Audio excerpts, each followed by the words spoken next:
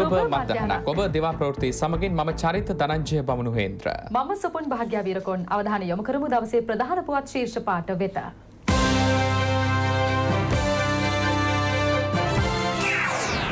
ශ්‍රී ලංකාව සමඟ කර්මාන්ත හා තොරතුරු තාක්ෂණික අත්දැකීම් හෝමාරු කර ගැනීමට දකුණු කොරියාව සූදානමින්. අතුරුදන් වූ දැරියන් දෙදෙනෙකු සොයා මෙහෙව්. පිහිවර යාත්‍රාව අනතුරට ලක්කර පලාගේ නැව සොයා පරීක්ෂණ. ඇමරිකාවට සුලිකුණාටුවක බලපෑම්.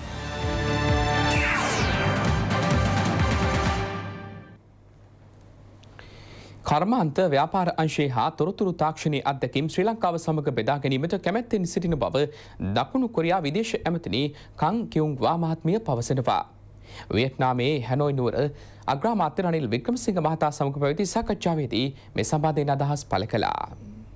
දකුණු කොරියාව කර්මාන්ත හා ව්‍යාපාර අංශයේ තොරතුරු තාක්ෂණය සම්බන්ධ යෝධ පියවර ගෙන ඇති බව දකුණු කොරියා විදේශ ඇමතිනිය ප්‍රකාශ කළා. එම අත්දැකීම් ශ්‍රී ලංකාව ඇතුළු ආසියා රටවල් සමග බෙදා ගැනීමේ කැමැත්තෙන් සිටින බවයි ඇය ප්‍රකාශ කළේ. ශ්‍රී ලංකා දකුණු කොරියා ඒකාබද්ධ ආර්ථික කොමිසමේ සාකච්ඡාවලදී මේ පිළිබඳ ප්‍රමුඛතාව ලබා දීම වැදගත් බව දකුණු කොරියා විදේශ ඇමතිනිය පෙන්වා දුන්නා. ශ්‍රී ලංකාවේ දකුණු කොරියා කර්මාන්ත කලාපයක් පිහිටවීම සම්බන්ධයෙන්ද මෙහිදී සාකච්ඡා කෙරුණා. අමාත්‍ය මලික් සමරවික්‍රම මහතා මෙහිදී පෙන්වා දුන්නේ මෙවැනි කර්මාන්ත කලාපයක් ඔස්සේ දෙරටටම ප්‍රතිලාභ අත්පත් කර ගැනීමේ මාර්ගයන් විවර වන බවයි. ඉන්දීය සාගර කලාපීය සාමය හා නිදහස් නාවික ගමනාගමන සුරක්ෂිත කිරීම උදෙසා ශ්‍රී ලංකාවේ වැෑයමද විදේශ අමාත්‍යවරිය අගේ කළා. සියලු ගැටලු සාකච්ඡාවෙන් සාමකාමීව විස්ථා ගැනීමේ මාවත හැමවිටම තමන් අනුගමනය කරන බවයි ඇය අවධාරණය කළේ. කොරියානු කලාපීය සාමය ස්ථාවර කිරීම සම්බන්ධයෙන්ද මෙහිදී අදහස් හුවමාරු කර ගැනුණා. කොරියා විදේශ අමාත්‍යංශයේ දකුණු ආසියා හා ශාන්තිකර කලාපීය අධ්‍යක්ෂකා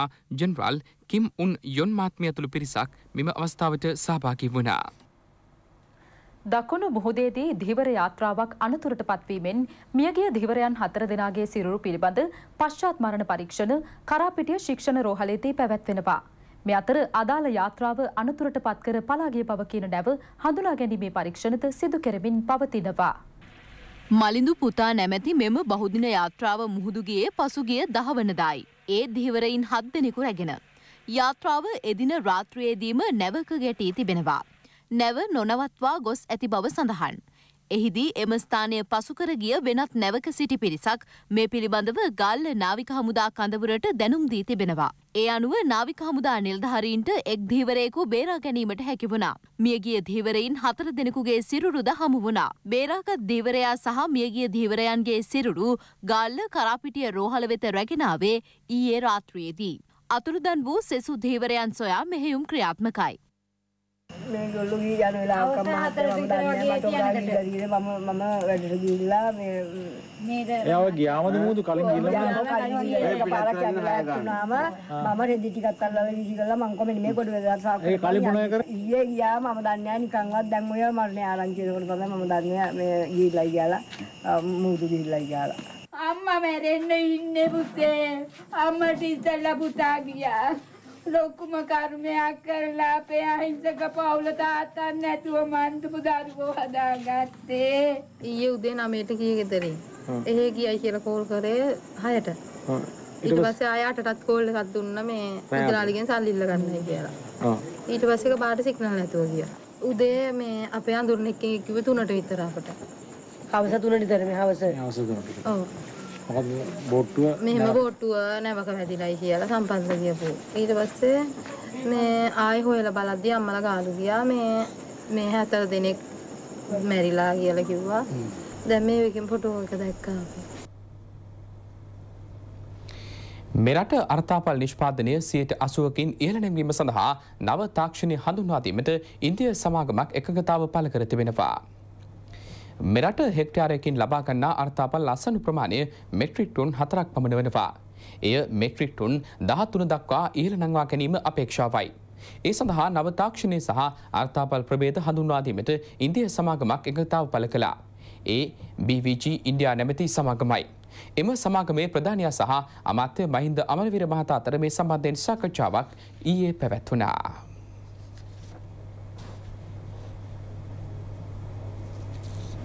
උද්ඝෝෂණ පවත්වමින් ආණ්ඩු වෙනස් කිරීමට සැලසුම් කිරීම විහිළුවක් බව අමාත්‍ය අර්ජුන රණතුංග මහතා පවසනවා.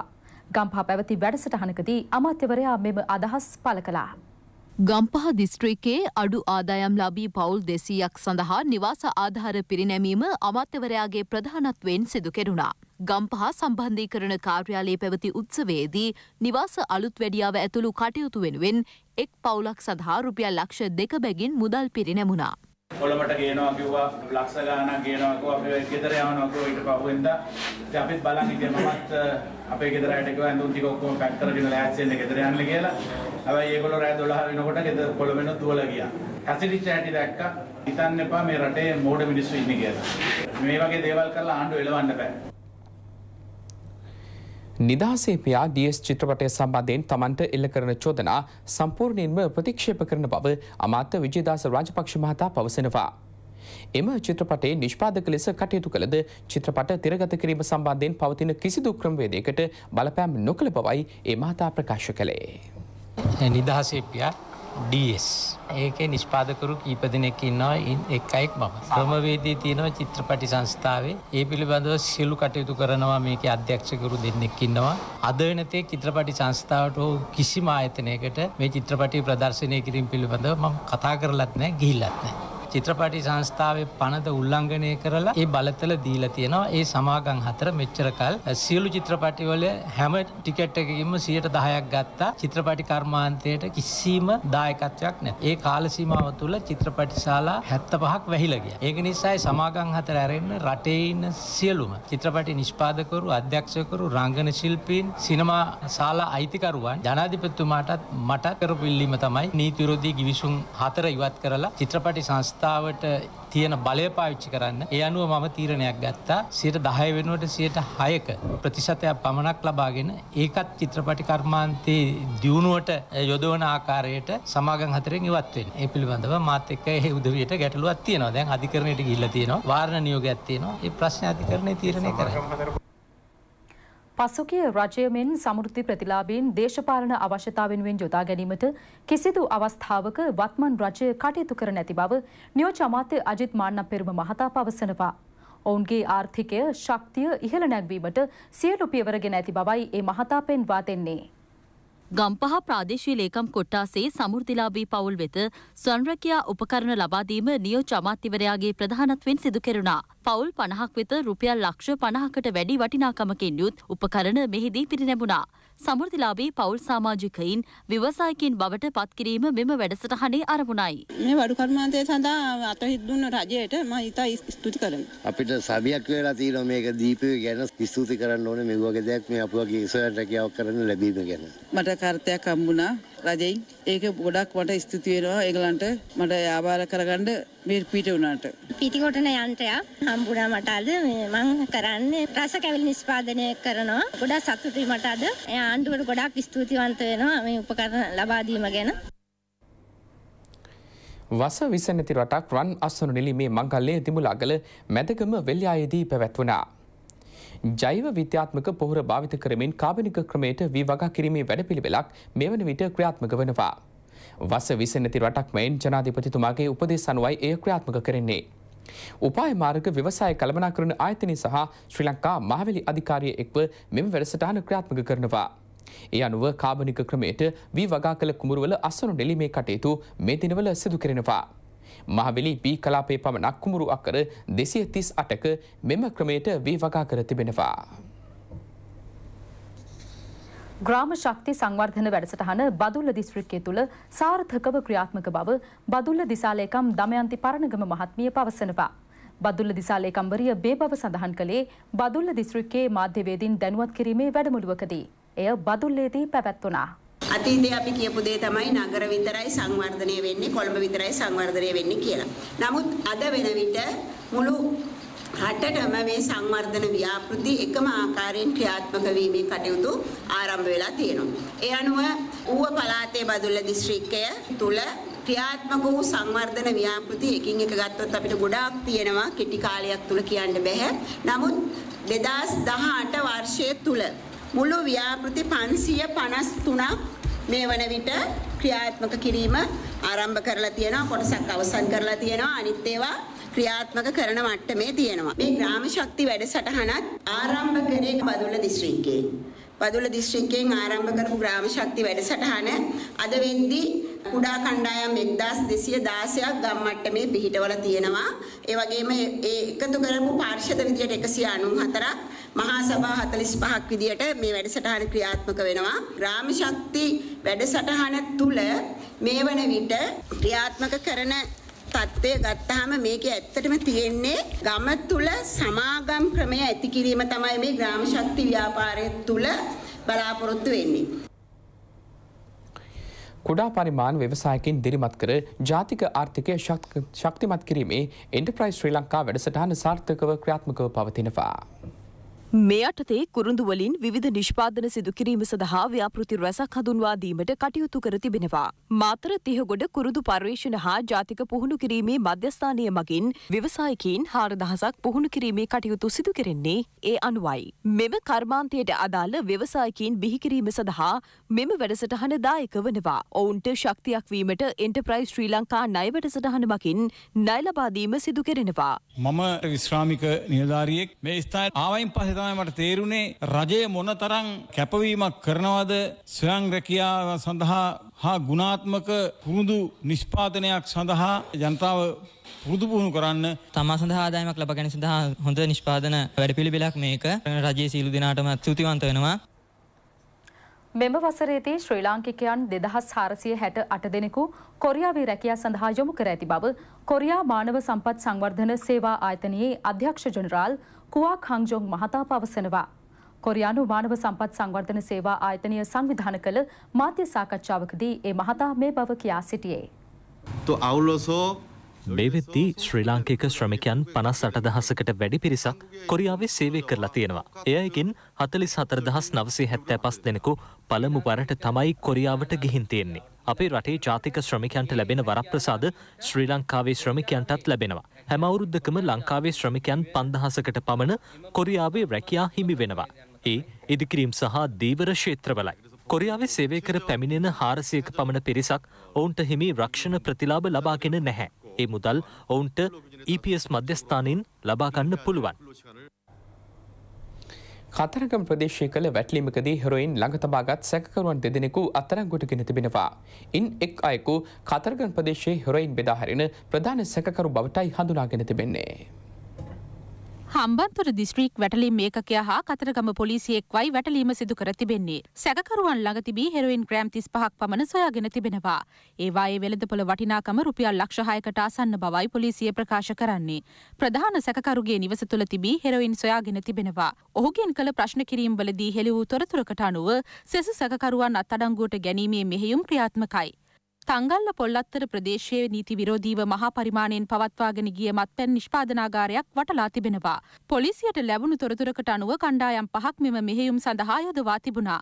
මත්පැන් නිෂ්පාදනය සඳහා යොදාගන්නා උපකරණ රසක්ද පොලිස් භාරයට ගෙන තිබෙනවා. දාහතර හැවිරිදි දැරියන් දෙදෙනෙකු අතුරුදන්ව ඇති බව තිස්ස මහාරාම සඳුන්ගම ප්‍රදේශයෙන් වාර්තා වනවා. මෙම දැරියන් දෙදෙනා පසුගිය තිස් එක්වනදා සිට අතුරුදන්ව සිටින බවයි ඔවුන්ගේ ඥාතීන් පවසන්නේ. මෙ සම්බන්ධයෙන් ඔවුන් තිස්ස මහාරාම සහ හක්මන යන පොලිස්ථාන දෙකටම පැමිණිලි කර තිබෙනවා. දහය වසරේ ඉගෙනුම ලබන මෙම දැරියන් දෙදෙනගෙන් එක් දැරියක රුපියල් විසිපන්දහසක මුදලක්ද රැගෙන ගොස් තිබෙනවා. ඔවුන් දෙදෙනා හක්මන ප්‍රදේශයේ ඥාති නිවසකට පැමිණ ඇති බවට තොරතුරු ලැබී තිබූ බවයි ඥාතීන් පවසන්නේ. එම මුදලින් ජංගම දුරකථනයක්ද මිලදීගෙන ඇති බවට අදාළ රිසිත්පත් හමුව තිබෙනවා. ඔවුන් එම නිවසින්ද අතුරුදන්ව සිටින බවත් දැරියන් සොයා ගැනීමට මහජන සහය පතන බවත් පොලිසිය පවසනවා. නෙත් මිනිසන්සලා අපේ අයියගේ දුව එයා තිහරෑ ගෙදරින් ගිහිල්ලා සංසලා කියලා යාළුවෙක් එක්ක තමයි යා නිතරම හිටියේ. සංසලා කියන යාළුවත් දැන් ගෙදර නෑ. එයාලා දෙන්න තමයි ගිහින් තියෙන්නේ. රුපියල් 25000ක් මගේ ගෙදරින් අරන් ගිහින් තිබ්බා. ඒවගෙන් තමයි ඇඳුම් අරගෙන ෆෝන් අරගෙන තිබ්බේ. මගේ දරුවා ලබන අවුරුදු සාමාන්‍ය පෙළ විභාග ලියන්න තියෙන්නේ. ඊට කලින් දුව පුළුවන් තරම් ඉක්මනට හොයා දෙන්න කියලා මම ඔබතුමාලගෙන් ඉල්ලා සිටිනවා. දැන් කෙටි විරාමයක්. ඔබ නැවතත් දිවා ප්‍රවෘත්ති සමකින්.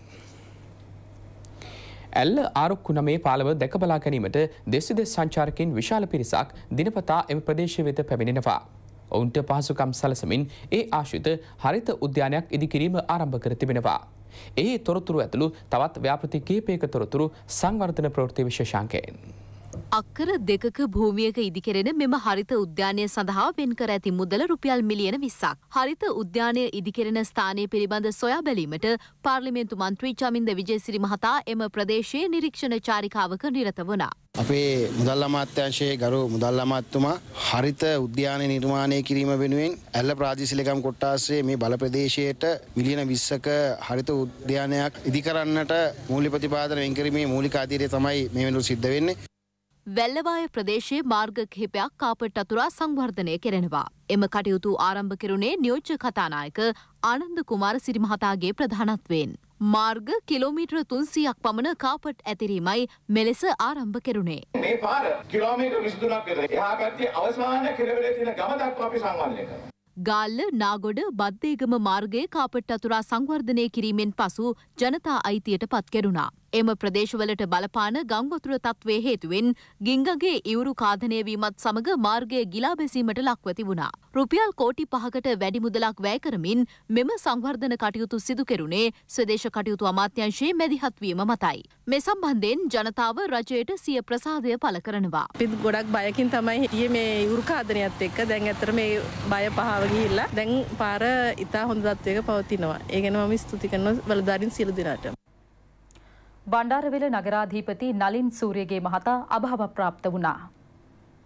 කොළඹ පෞද්ගලික රෝහලක ප්‍රතිකාර ලබමින් සිටියදී අද උදෑසන ඒ මහතා අභාව ප්‍රාප්ත වී තිබෙනවා. මිය යන විට ඒ මහතා හැට එක්වන වියෙහි පසු වුණා.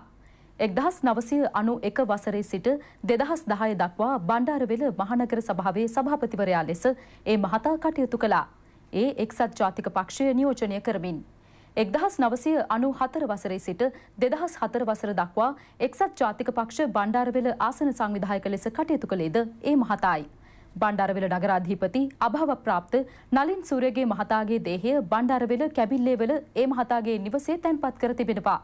අවසන් කටයුතු බණ්ඩාරවෙල නගර සභා ක්‍රීඩාංගණයේදී අනිත්දා සිදු කිරීමට නියමිතයි. දැන් ප්‍රෘතිකපයක් ලොහනේෙන්. පිටපැත්තර සහ කොටපොල ප්‍රාදේශීය ලේකම් කාර්යාල බල ප්‍රදේශයේ යෞවන සමාජ හා ක්‍රීඩා සමාජ වෙත උපකරණ පිරිනැමුණා. ඒ අමාත්‍ය සාගල රත්නායක මහතාගේ ප්‍රධානත්වයෙන්. රුපියල් ලක්ෂ දහයකට ආසන්න වටිනාකමකින් යුත් බහන්ඩ මෙහිදී පිරිනමා තිබෙනවා.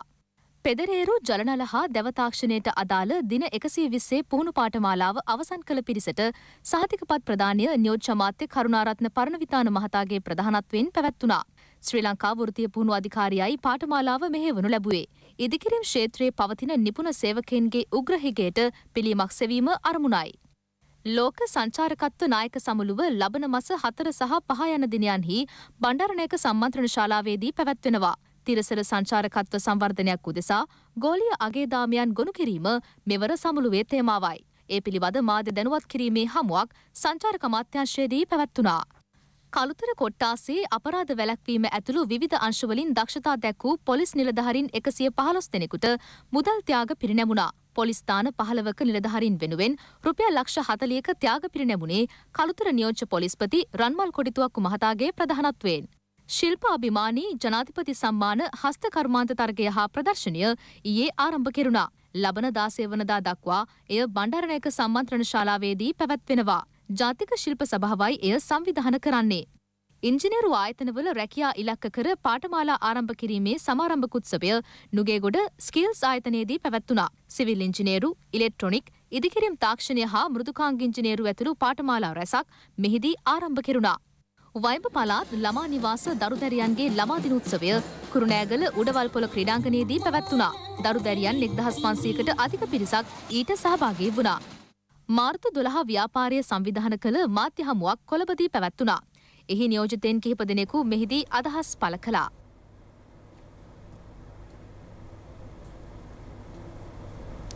විරාමිකේ අනතුර විදෙසා ක්‍රීඩා ප්‍රවෘත්තිය බලාපොරොත්තු වන්න. දැන් ක්‍රඩා පිටියේ තොරතුරු. ගැමුණු හේවා බලකායි නියෝජනය කරමින් ජාත්‍යන්තර ජයග්‍රහණ හා ජාතික මට්ටමේ ජයග්‍රහණ වාර්තා කළ ක්‍රඩකින් ඇගීමේ උත්සවයක් නෙළුම් පොකුන් රගලයේදී පැවැත්වනා.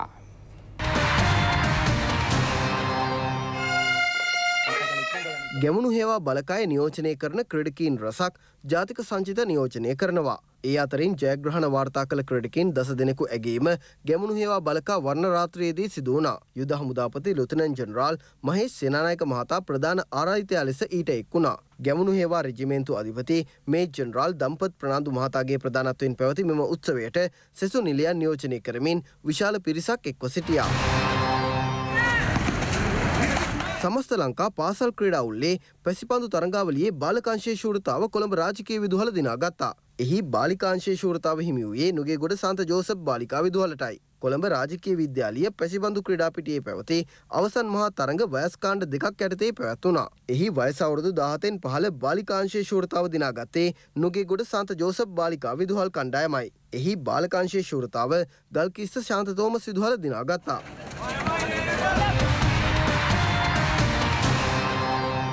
එත් සමගින් දිවා ප්‍රවෘති අදට අවසන් වෙනවා. එක්වන්න පසරු දෙකට අපගේ පෑන් පෑපුවත් විකාශය සමගින්. සුබ දවසක්. www.ipnnews.lk